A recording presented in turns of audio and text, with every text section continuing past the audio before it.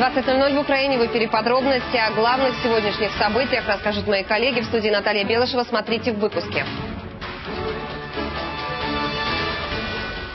Принудительная мобилизация мирного населения боевиками и российские заградительные отряды. Ситуация на Востоке.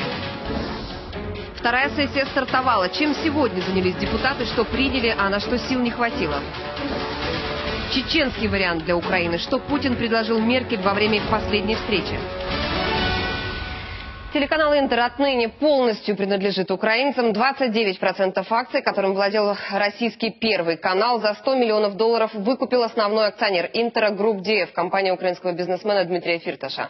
Как отмечает управляющий директор Group DF Борис Краснянский, выкупить часть акций «Интера» у россиян хотели уже давно, но из-за политического давления сделку пришлось ускорить.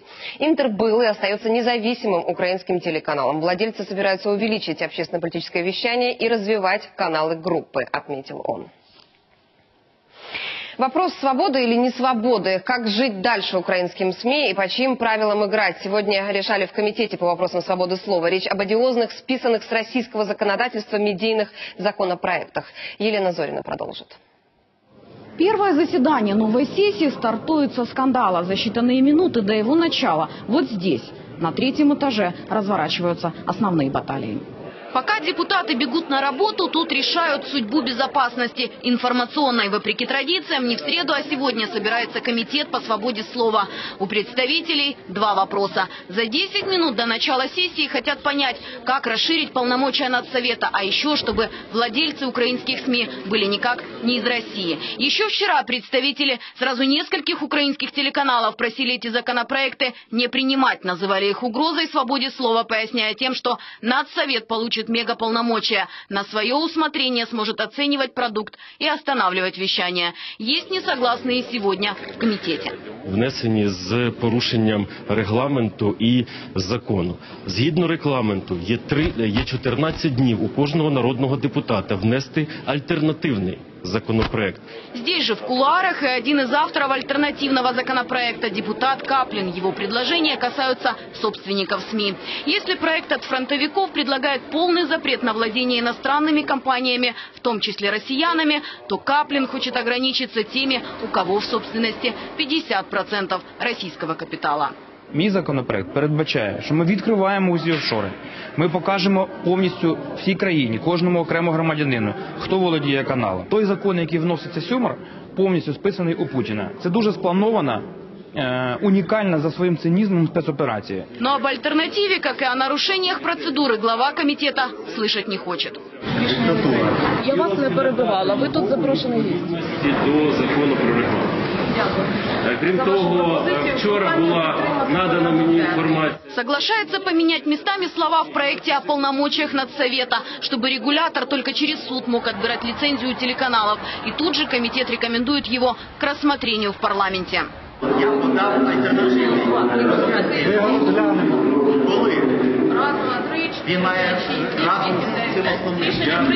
Другие замечания здесь, может быть, услышат только ко второму чтению, а они есть. Особи, що неодноразово у своїх публічних коментарях, виступах, творах використовували заклики і пропаганду, зазначені в цій статті. Визначення таких особ їх переліку нема в Україні. Когось вже покарали за Йосипа Кобзона і Олега Газманова. а Кого ще додати туди? Да? І ну фактично буде е, добре, якщо відбудеться саморегулювання. А якщо на цьому почне, е, почнуть відбуватися спекуляції? На эту проблему указывает и медиаэксперт Роман Головенко, но говорит, решить ее нельзя. Це неможливо прописати ну, і- імена, тому що постійно з'являтимуться нові. Закон не може бути абсолютно точним. Тобто цей європейський підхід, воно у практиці все випрацьовується. На принятие решений комитету понадобилось всего 20 минут. Почему это нужно было так быстро именно сегодня, глава комитета, уже убегая, пояснила так. Ми я була на на, на нараді у Гройсмана, і ми запитали. А позже выяснилось, эти законопроекты уже сегодня в повестке дня. Елена Зорина, Алла Матюшок и Максим Чеблин. Подробности телеканал Интер. И буквально через несколько минут после заседания Комитета по свободе слова эти же законопроекты, скопированные с российского законодательства, уговаривали принять. Согласны ли депутаты, что предлагают как альтернативу и за что еще боролись у трибуны? Екатерина Лысенко подробнее.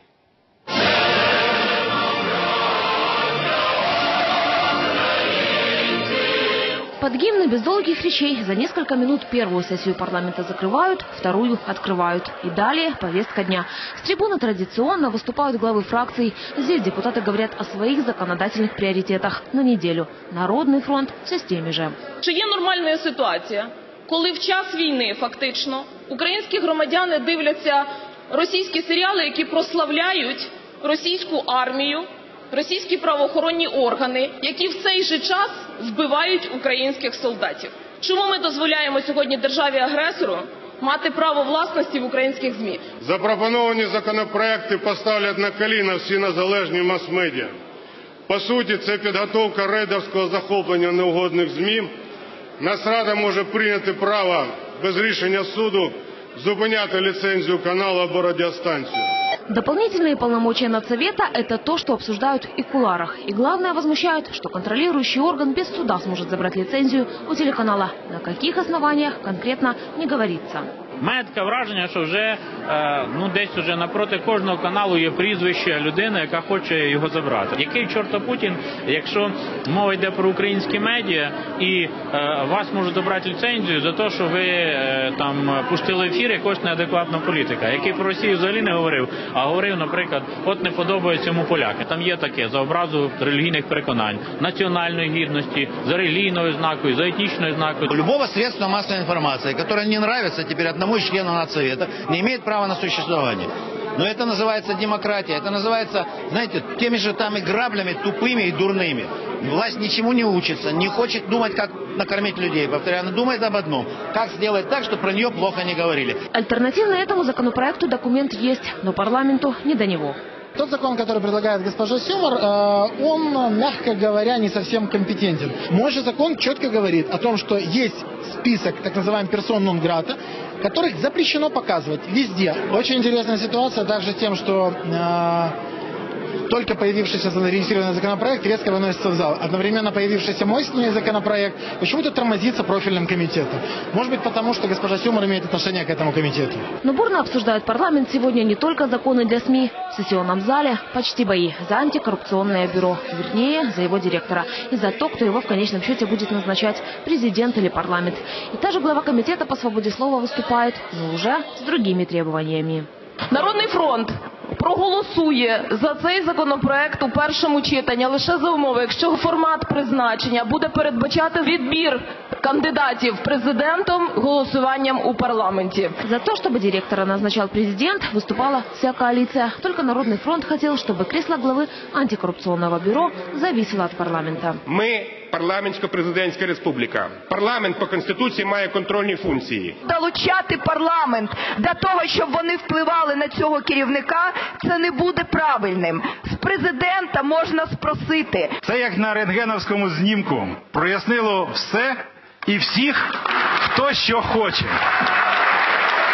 А Народний фронт в даному випадку показує своє обличчя як олігархічної партії, яка хоче і далі впливати на антикорупційні призначення. Ганьба такій партії.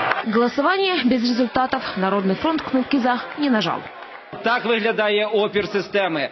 Пам'ятаєте голосування про Укрнафту? Один в один. Я бачу зараз шантаж одної фракції всього парламенту. Робить зараз шоу. Ви бачите, суспільство чекає боротьби з корупцією. Зараз всі будуть визначатися, чи дійсно ви обіцяєте, чи ви дійсно робите. Шановні друзі, давайте не прикриватися війною, коли ми хочемо монополізувати інформаційний простір.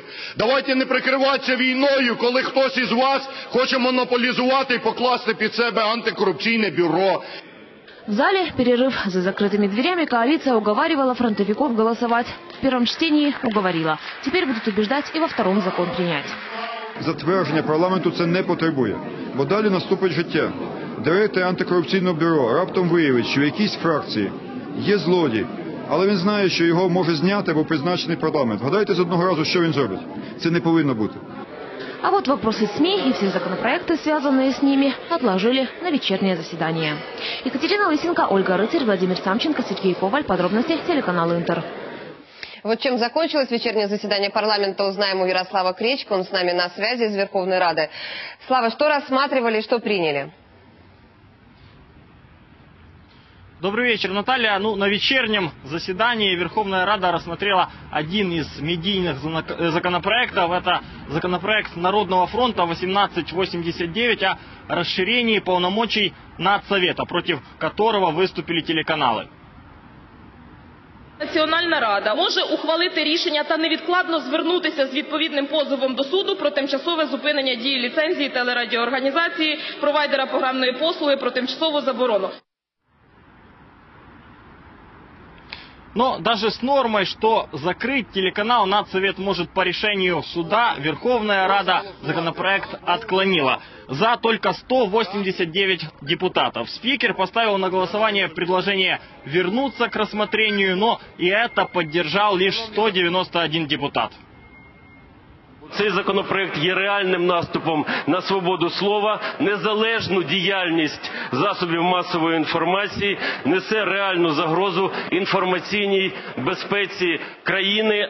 Оця жага все перерозподілити і забрати може привести до того, що ми в прикінцевих положеннях напишемо, що скасувати угоду про асоціацію з Європейським Союзом. Всі законопроекти медійні повинні писати не одна людина, не РНБО, не уряд.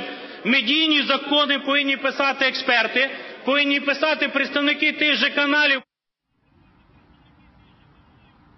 Спикер Владимир Гройсман заявил, что законопроект отклонен. Впрочем, пока все еще остается вероятность, что профильный комитет разработает новый. Наталья? Спасибо, Слава. Ярослав Кречко о вечерних результатах заседания парламента. Закон 1768 – калька с российского закона. Об этом в открытом письме заявили три президента Украины. Леонид Кравчук, Леонид Кучма и Виктор Ющенко предостерегают власти от введения цензуры. Ограничение свободы слова не только противоречит европейскому пути развития Украины, но и угрожает потерей демократических основ и резким поворотом в сторону диктатуры и тоталитаризма, от которых наша страна много натерпелась. Лучшим ответом на российскую пропаганду должны стать реформы, считают президенты, и призывают депутатов не принимать законы, возвращающие Украину в советское время. Эхо скандальных инициатив Рада докатилось и до Америки. Дмитрий Еловский подробнее о том, как в Вашингтоне восприняли наступление на свободу слова. Многие здесь, в Вашингтоне, следят за событиями в Украине и искренне сочувствуют ей. Так получилось, что финансовое благосостояние, выдача кредитов, да и успехи на фронте во многом зависит от Америки. А здесь от Киева ждут прежде всего реформы и сокращения госрасходов, а не давления на журналистов. Ситуацией обеспокоена Freedom House, известная американская влиятельная организация, которая занимается исследованиями гражданских и политических свобод граждан по всему миру. Их рейтинги изучают, к ним прислушиваются. Вот в последнем у Украины балл, ну, такой, честно говоря, довольно средний. Отнесли к частично свободным странам, но все равно дела лучше, чем у той же России. Антижурналистские законы создают совершенно иной тренд. Посмотрите, к чему привели такие законы, внедренные Россией. Они очень ограничивают медиа и окружающих. Фактически новости в России заменены пропагандой, поэтому мы, конечно, не приветствуем такие законы. Чем меньше власть влияет на прессу, тем лучше журналистам. Озадачены предлагаемыми мерами и в Комитете по защите журналистов. Там считают, что чем меньше государство регулирует работу прессы, тем лучше. И, конечно, здесь в Америке и речь о том, чтобы отбирать лицензию по желанию какого-либо наблюдательного совета у телеканала быть не может. Ну, правда, на свободу слова здесь обращают очень много внимания, ее берегут как одну из основ Конституции, которая уже больше двух сотен лет. Напомню, на этой неделе должен состояться еще и визит госсекретаря Керри в Украину. Он приедет 5 февраля, именно в тот день, когда Народный фронт попытается проголосовать за вторую часть своего пакета законов о цензуре. Информационный фон складывается, мягко говоря, не самый удачный для успеха переговоров между Украиной и Америкой. Дмитрий Ловский, Никита Исайко. Подробности. Американское бюро телеканала Интер. Пять украинских военных погибли и 27 получили ранения за минувшие сутки. По информации СНБО, потери боевиков в несколько раз больше. Подробности узнаем у Ирины Баглайна, находится там, на месте. Ира, здравствуй, расскажи, что тебе известно? Да, здравствуй, Наташ. Э, Могу сказать, что самое напряженное направление – это Дебальцевское. Сегодня террористы ДНР продолжили обстреливать и сам город, и ближайшие к нему села. И это несмотря на то, что из города пытаются выехать мирные жители. Боевики ведут огонь из тяжелых орудий, зная это. Э, В районе населенного пункта Чернухина украинские военные вступили в боевое столкновение с террористами. Чернухина и Никишина – это места, где на фланговых блокпостах удерживаются наши силовики и которые уже не один месяц пытаются выбить боевики. Попасть туда журналисту невозможно, пока идут бои, но в штабе АТО официально подтверждают, эти позиции остаются нашими, украинскими. Бойовики саме концентрують свої зусилля на Дебальцівському напрямку. Утім, хочеться зазначити, що жодних позицій українські військові не втратили, ніякого оточення позицій українських військ немає. Українські воїни. И вот то, что боевики стянули максимально свои силы на Дебальцевский плацдарм, это не вызывает сомнений, так как на других участках линии фронта количество обстрелов сократилось. Мы сегодня проехали, можно сказать, по крайней линии фронта, ближайшей к Донецку. Вот в Марьинке, наверное, первый день за последнюю неделю, что было относительно тихо, и люди вышли на улицы. Еще вчера несколько снарядов попали в жилые дома, к счастью, никто не пострадал. Пожар успели потушить, и это при том, что большинство здесь живущих родственники боевиков ДНР. То есть фактически они бьют по своим. Вот, начинается по новой. И часто у вас так? Да. Ну, ве- весь день, всю ночь. Вот уже четыре дня подряд. Куда, что, куда, по ком? Мирных жителей разбивают и все. Делят эту землю никак не поделят. Огонь боевики вели со стороны шахты. За терриконами они разместили свои орудия, но подобраться к этим позициям невозможно, подходы заминированы. А вот боевики диверсионно-разведывательными группами пытаются прощупать, так сказать, наши позиции. Однако действуют, как рассказали нам бойцы первой танковой бригады, явно не профессионалы. Близко подходит, очень близко подходит. Подходит где-то на расстоянии выстрела. Профессиональная диверсионная группа, ее работа будет видно, они работают на результат. А тут просто прих- приходят, постреляли, постреляли с расстояния, и, соответственно, уходят. Все. Нам тут по мосту теж попали, перед танчиком теж попали, але вже привикши. Ну, фаргуну побили, там, наводчика теж попали. И вот что касается территории со стороны Куйбышевского района, это Пески, Тоненько, здесь также сегодня э, тише. Можно сказать, что атака боевиков спала, и вот бойцы развеяли всяческие предположения о том, что э, террористы якобы контролируют территорию Песок. Выезжали гаубицы ихние, минометы работали. Пески еще никто не сдавал, не, не- не сдавать никто не будет. Пески пока по нашему контролю. На данный момент, Наташа, это вся информация. Спасибо, Ира. Ирина Баглай о сегодняшней ситуации в районе Дебальцево. Спас полсотни бойцов или бежал с места боя. В Харькове скандал вокруг батальона «Киевская Русь», во- воевавшего под Дебальцево, вернее, вокруг командира. Все подробности знает Лидия Калинина. Уже три дня они живут здесь, в воинской части в Харькове. Сюда полсотни бойцов батальона «Киевская Русь» привезли из Изюма, куда они доехали из Углегорска. Выбирались ночью, после того, как поняли – оставаться – верная смерть. Местные нас предупреждали. Накануне вечером пришли и сказали, если вас до утра здесь не будет, вас просто-напросто уничтожат. Те, кто останется там живой или что, вырежут. Решение о выводе подразделения принял их командир. Теперь Евгений Ткачук задержан. приділено підозру у умисному невиконанні наказів в умовах бо- бойової обстановки. Но бойцы уверяют, приказов не было. Несколько дней Ткачук пытался связаться с комбатом. Тщетно. Рации не работали, мобильный молчал. Не було ніякого бойового наказу. Ми були не забезпечені нічим, ні укриттями, ні, ні, ні боєприпасами, ні саме головне зв'язком. Бойцы говорят, сама идея бросить их туда или абсурд, или спланированная провокация. Ведь о том, что эта местность простреливается, было известно заранее. Це який град залетів коло нас. Ось тут людина міряла це, бачите, відстань яка? 4,5 метра. Це ми тільки стали, це під Углегорськом. пристріляно давно було. Позиції вибиралися невірно, тобто там на- над цим цим ніхто не працював. Ну, таке відчуття, ну, як з дня на день нас просто мали знищити. Комбат, приказы которого они якобы не выполняли, на связь вышел только сегодня. Потому что личный состав хочет этого знать, что за приказы были. Какие и откуда они брались, эти приказы, которые никто не знает об этом. Андрей Васильевич, я тоже могу кричать. Я тоже могу кричать. Не кричите, пожалуйста. Приедьте, пожалуйста. Но комбат присылает зама. Тот должен привести бойцам письменный приказ. Что в нем, по телефону разъяснить отказывается. Я не могу рассказать без комментариев. Бойцы говорят, по приказу они должны будут срочно вернуться на свои позиции в Дебальцево. Но этому комбату военные подчиняться больше не хотят. Тут іде пряма загроза вже життю е, всього підрозділу. І тому наша е, така є вимога звільнити нашого командира, який спас життя цим людям. По информации бойцов, их командира уже перевезли в Краматорск, а его дело передали в главную военную прокуратуру. Евгению Ткачуку грозит до 10 лет тюрьмы. У солдат одно условие – на войну они вернутся только после того, как отпустят командира их подразделения и заменят командира батальона. Лидия Калинина, Александр Яновский. Подробности телеканал Интер. Харьков. Без воды, света, тепла, мобильной связи и под постоянными обстрелами. Так живут в оккупированных городах сегодня. Мы связались с Донецком и Луганском. И вот что нам рассказали. Расцветает, конечно, различного рода бизнес. Очень много предложений по продаже купли жилья. Это настораживает, поскольку все наши реестры заблокированы в Киеве, поэтому это сделать на законных основаниях нельзя.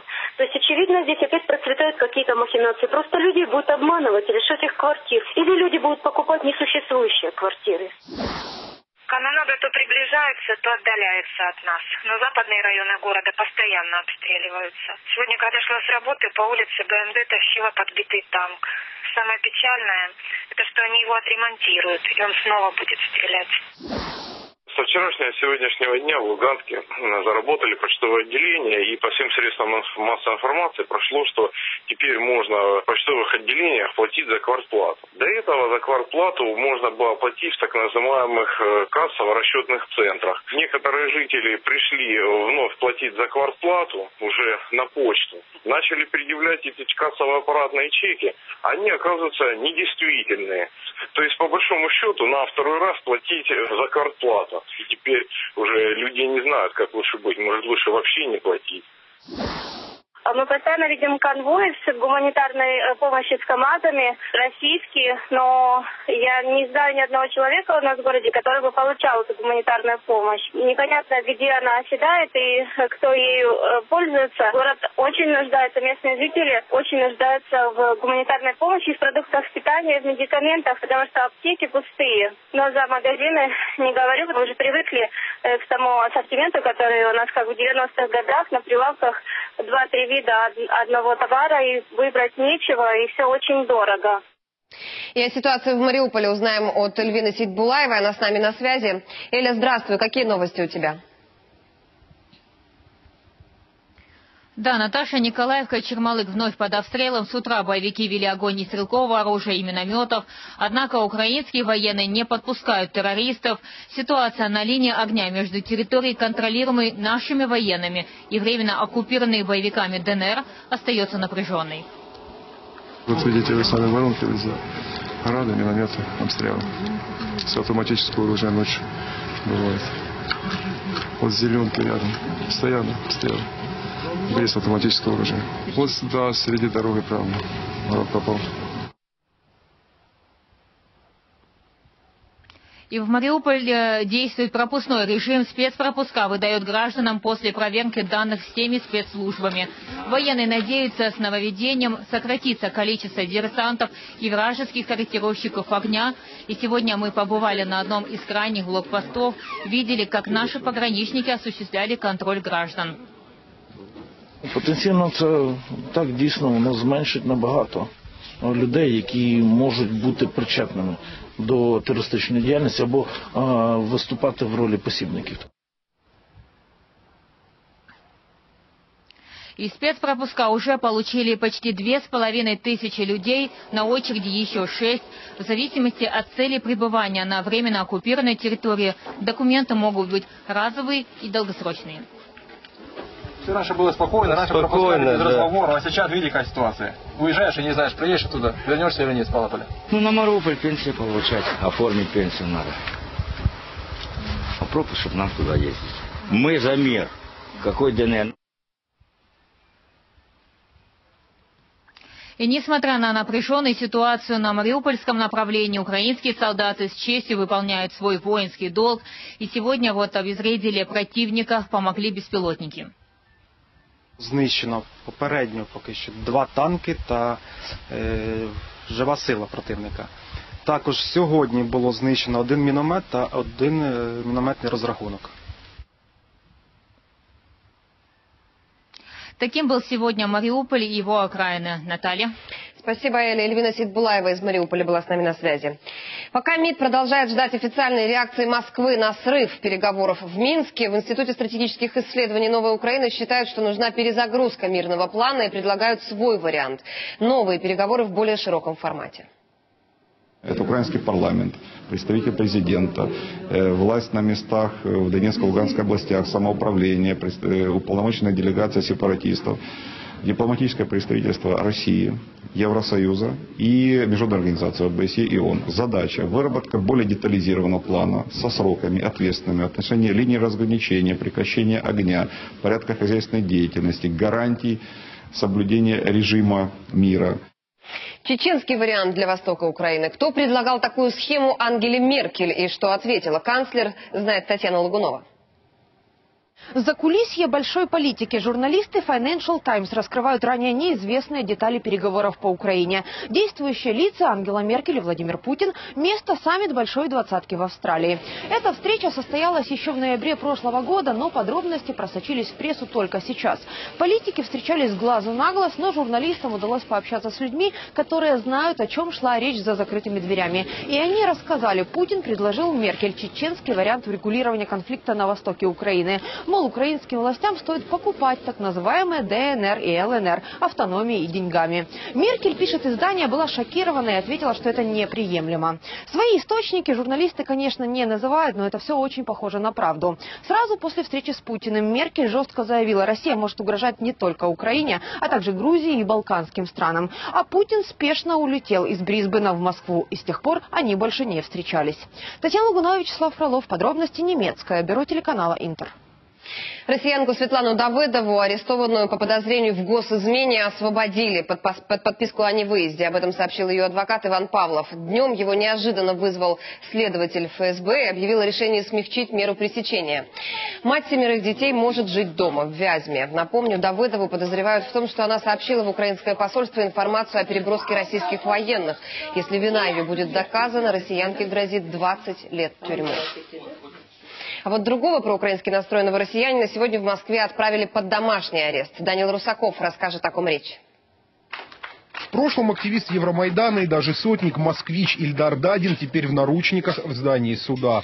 Надеюсь, что Россия будет свободной, что Конституцию перестанут нарушать, и все, кто нарушает Конституцию, что они будут привлечены к ответственности. Это уже вторая по счету попытка арестовать Дадина. На предыдущем заседании срок задержания продлили. Не хватило характеристик личности. Следователь по-прежнему хочет отправить его в СИЗО. Но прокурор неожиданно просит домашний арест. Председательствующий спорить не стал. Избрать Дадину, Дадину Ильдару Индусовичу меру пресечения в виде домашнего ареста на срок 1 месяц 27 дней, то есть до 27 марта 2015 года. Статья 212.1 Уголовного кодекса. По ней на пять лет могут посадить за участие в несогласованных митингах. Ильдар Дадин на них бывал часто в поддержку Надежды Савченко под зданием на Лубянке и на многочисленных пикетах против войны на Донбассе. В здание Замоскворецкого суда поддержать Ильдара пришли его сторонники. Бред. Человек вышел просто на манежку. Его взяли, значит, если под домашний арест, это определенно все равно будет э, продлевание вот этого ареста, и все выльется в суд. По словам адвокатов, оспорить меру пресечения можно. Для этого нужно подать апелляцию в Мосгорсуд. Но в то, что это удастся, мало кто верит. Обычно все дела в городском суде, они также э, поселивают решение районных судов. Вот, поэтому, естественно, апелляцию подавать по этому делу нужно. Но шанс того, что что-то будет изменено, относительно решения первой инстанции, он очень маленький. То, что под подписку о невыезде, на чем настаивала защита Ильдара, не выпустят, стало ясно сразу. К зданию суда подогнали автозак для недовольных. Вокруг усилили патрули. Замоскворецкий суд общественные активисты в шутку называют стратегическим. Именно здесь рассматривали скандальное болотное дело. Брата Алексея Навального Олега к трем с половиной годам приговорили тут же. Почти через два месяца Ильдар Дадин снова окажется в этом здании. Ему будут продлевать домашний арест. Данил Русаков, Виталий Коваленко, Московское бюро, телеканал Интер. Полгода без зарплат. В Днепропетровске на акцию протеста вышли работники Южного машиностроительного завода. Почему промышленный гигант оказался на грани краха, выясняла Наталья Грищенко.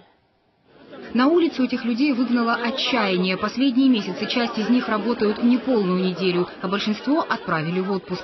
С июля прошлого года сотрудники Южмаша без зарплаты. Люди работают по минимуму, потому что простой второй месяц. 70 лет здесь разрабатывали ракеты-носители и космические аппараты. Благодаря им Украина участвовала во многих международных космических проектах, таких как морской и наземные старты. Есть здесь свое литейное и кузнечное производство. Кто бы мог подумать, что работники стратегического предприятия окажутся на грани нищеты. Зарплаты нету у меня. Я живу на пенсию 80-летней старухи. Да сколько же можно? Уже шесть с половиной месяцев. У меня ни хлеба дома нет, ничего сегодня. Эта акция протеста уже третья за последние полгода. Но впервые люди решаются на радикальные действия. Перекрывают проезжую часть. К ним выходит директор, объясняет, зарплаты нет, потому что нет заказов. Большинство из них были из России. Южмаш производил и обслуживал комплектующие для российского ракетного комплекса. Сотрудничество со страной-агрессором сейчас остановлено. Да, мне стыдно людям в глаза смотреть, потому что я прихожу, и я беспомощный. Руководство Южмаша просит правительство дать им госзаказ. Если стране не нужны ракеты, готовы делать тракторы, сельхозтехнику или, главное, продукцию для оборонки. По оборонке пока заказов нет. Выходим на уровень сельского хозяйства, чтобы все-таки наш трактор, который по всем параметрам никак не хуже, даже некоторых лучше, минского трактора, мы хотим, чтобы он выпускался у нас. И просим это и у правительства. Правительство обещает, Южмаш ждет. Но так протянет недолго. Предприятие теряет ценных специалистов. Инженеры и сотрудники научных подразделений увольняются. Наталья Грищенко, Сергей Иванов. Подробности. Телеканал Интер. Днепропетровск. О госпредприятии «Антонов» теперь будет заботиться специальный общественный совет. В нем более двух десятков бывших высокопоставленных военных, дипломатов, ученые, юристы, журналисты. Возглавил совет первый президент Леонид Кравчук. Как он сообщил, структура будет следить за ситуацией на заводе. Участники косвенно подтвердили, совет создан, чтобы избежать возможного рейдерства. Напомню, летом и в начале осени работники предприятия протестовали против увольнения генконструктора Дмитрия Кивы и назначения нового директора. Ситуацию удалось разрешить после личной встречи генконструктора с новым министром экономики Айварасом Абрамовичусом.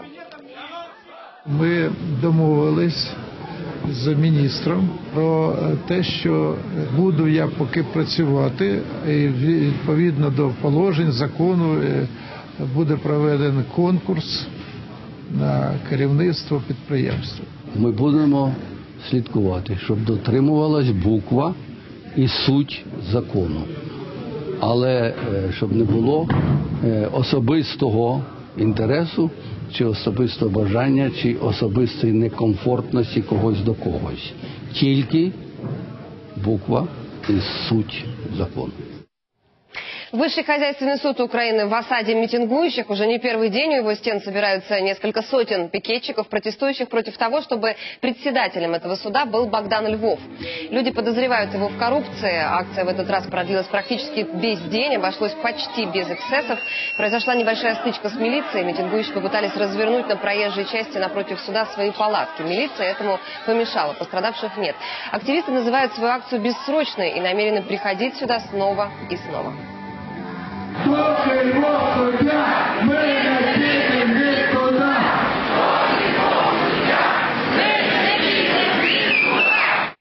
И мы продолжаем. Смотрите далее.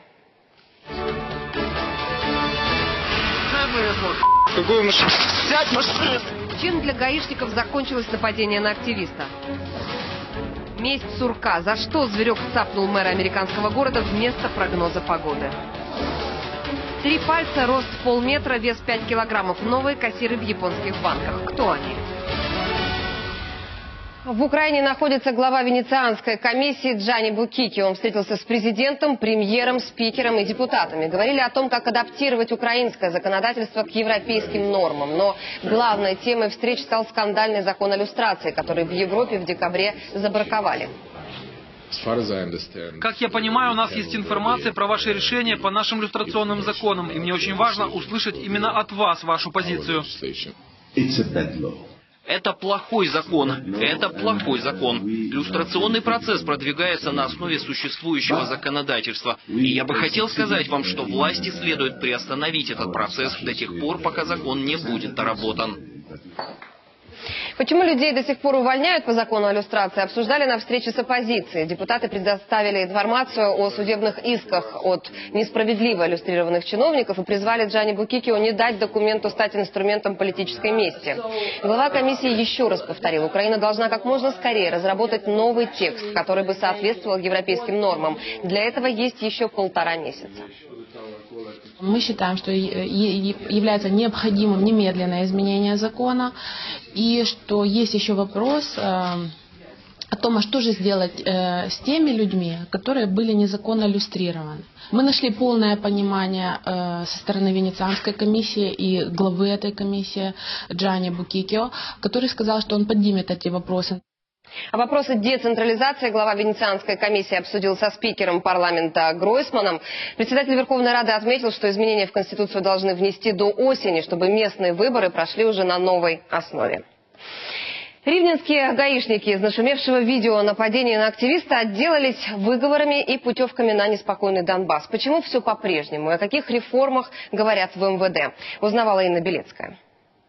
В центре города, где знак, запрещающий проезд, страшен только иногородним, любимый пост гаишников. Машина с неместными номерами для них как красная тряпка для быка. Активисты это давно подметили и установили камеру для контроля. Вмешались, когда автоинспекторы остановили очередного водителя.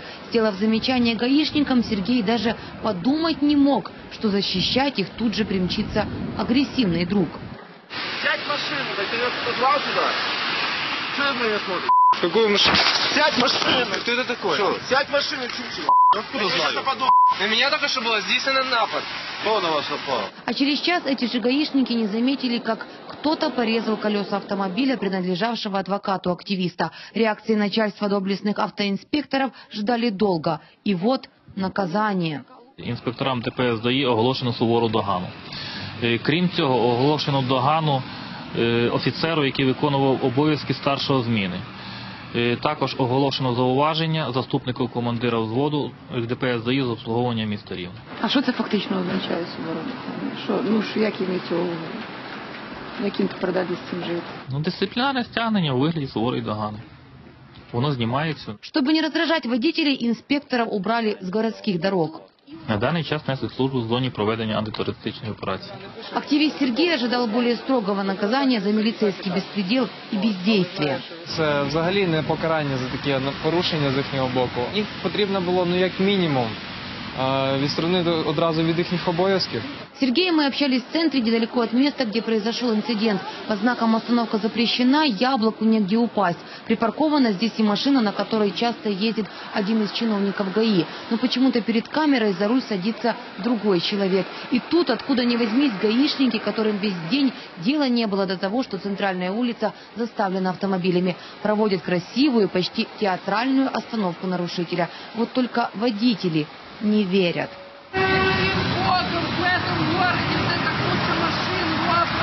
Очень хочется дождаться реформы МВД. Может, тогда люди в форме перестанут сами нарушать правила или хотя бы станут бояться реальных наказаний, а не выговоров, от которых ни холодно, ни жарко. Инна Белецкая, Николай Василюк. Подробности телеканал Интер. Ривне. Все под одной крышей. Лаборатория, рентген-кабинет и узкие специалисты. В Ирпене Киевской области открылась новая детская поликлиника. Елена Митясова подробнее. На прием к врачу Даша сына сегодня не поведет. Поликлинику спешат по другому поводу. Открывают новое здание. Коляску припарковывают на специальной стоянке. Просто замечательно сделали для маленьких деток. Сюда и площадка хорошая, погулять будет куда ходить. О детской поликлинике жители Ирпеня мечтали давно. С прежней амбулаторией сплошные неудобства, жалуются мамы. Раніше була доволі стара поліклініка, педіатри в одному місці, вузькі спеціалісти в іншому місці. Не треба буде їздити по всьому Ірпеню. а И вот торжественный момент. Мэр города перерезает ленту и приглашает жителей на смотрины. Дуже подобається мамі, дуже подобається нова поліклініка. На первом этаже регистратура, гардеробная, врачебные кабинеты, УЗИ и рентген. На втором массажный кабинет и физиопроцедуры. Изюминка – аквариум. К нему приковано внимание всех детей. На новом рабочем месте осваивается и хирург Михаил Шулак. Это его новый кабинет. Тут буде змонтовано сучасне обладнання, операційний стіл, е, замовлені е, інструменти. На поиск здания, ремонт и покупку оборудования для новой детской поликлиники местным властям понадобилось 3 месяца и 11 миллионов гривен. Это и государственные, и спонсорские деньги. Три місяці нашої співпраці підприємництва і влади показали, е, що чесні прозорі правила гри вони створюють бажання підприємництва інвестувати у соціальні проекти. Ми е, тут переробили абсолютно все. Уже замовили, закупили новий УЗІ, ми закупили гастроскоп. Поменяется и качество оказания услуг. Медиков обучили работе на современном оборудовании. Многие прошли курсы повышения квалификации. Елена Митясова, Андрей Кузнецов. Подробности телеканал Интер. Пикет в Полтаве. Участники акции требовали отставки мэра и перевыборов местных депутатов, избранных еще во времена Януковича. Возмущение людей вызвало то, что избранники только со второй попытки смогли признать Россию страной-агрессором, а ЛНР и ДНР террористическими организациями. Вчера депутаты в срочном порядке собрались на внеочередную сессию и всего за пару минут приняли такое решение. Проголосовал даже городской голова, который в первый раз воздержался. Сегодня Александру Мамаю и всем местным депутатам полтавчане выразили недоверие. щоб депутати, які називаються міської ради, вони повинні перш за все потрапити на передову і побачити, чи є агресія, чи нема агресії. Чи є е, терористами ЛНР, ДНР, чи немає. Я против этих депутатов, которые выно- выносят такие сепаратистские решения. А нас пытается, пытается народ, подбивает на сепаратистские идеи. За какое волшебство техасского мальчика выгнали из школы, кто служит в японских банках, настоящий евро во французской версии монополии и приступ агрессии у сурка-предсказателя. Об этом и не только в нашем обзоре. Мэра городка Сан-Прери в штате Висконсин укусил сурок. Это произошло во время традиционной церемонии в День сурка. Животное символически должно было нашептать градоначальнику прогноз погоды на два месяца. После инцидента Джонатан Фройнд сообщил, что сурок предсказал холода и еще шесть недель зимы. Техасского школьника отстранили от занятий за угрозу применить волшебство. Девятилетний Эйден, фанат киносаги «Властелин колец», предложил однокласснику надеть копию волшебного кольца из фильма «Хоббит» и исчезнуть. Преподаватели услышали этот разговор и выгнали мальчика из школы. Сейчас родители юного любителя фэнтези пытаются доказать администрации учебного заведения, что их сын не обладает магической силой. Британские историки отыскали неизвестную ранее теорию Исаака Ньютона. Эти записи физик сделал в период с 1661 по 65 год. Все последователи знаменитого англичанина сочли теорию неважной. Оказалось, Ньютон объяснил вертикальное движение жидкости в растениях. Ученые пришли к этому только 200 лет спустя. Роботы приступили к службе в японских банках. Андроидов с тремя пальцами разработала французская компания. Машины-клерки ростом полметра и весят около 5 килограммов. Владеют 19 языками, распознают человеческие эмоции и отвечают на вопросы клиентов. Разумные устройства могут помочь обменять валюту, перевести деньги в другую страну или же открыть счет. Елизавета II больше не будет разводить собак любимой породы корги. Королева Великобритании боится споткнуться о питомцев и травмировать животных. Или же еще хуже, упасть самой и сломать руку или ногу. Сейчас в Букингемском дворце всего две собаки. Ранее было восемь корги. Традиция заводить этих псов в королевской семье появилась в 1830 году, во времена Георга IV. На интернет-аукцион выставили редкие фотографии группы Beatles и Rolling Stones. В 60-х эти снимки сделал гастрольный менеджер обеих групп Боб Боннис. На фото, выпущенных ограниченным тиражом, музыканты отдыхают между выступлениями. В сети за один такой снимок просят 175 долларов. Во Франции выпустили настольную игру «Монополия» с настоящими деньгами. Вместо символических бумажных купюр – банкноты номиналом 20, 50 и 100 евро. Комплекты приурочены к 80-летию «Монополии». Всего в юбилейных наборах игры почти 21 тысяча евро.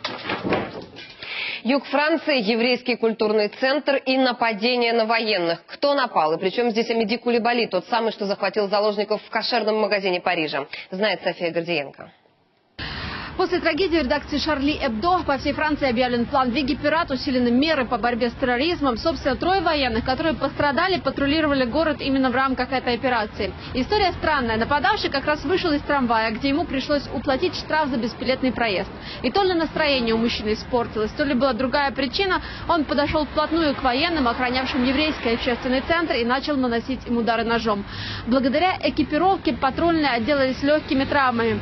Нападавшего задержали, помогли водитель, трамвая и прохожие. К слову, у него оказались документы на имя Мусы Кулибали. Это может быть как однофамилец, так и родственник. Амиди Кулибали – радикала, захватившего заложников в кошерном магазине Парижа в начале января. София Горденко, Василий Трушковский. Подробности Европейское бюро телеканала Интер. Информация постоянно обновляется на нашем сайте. Подробности ЮЭ. Я прощаюсь с вами до завтра. Хорошего вам вечера и до встречи в подробностях.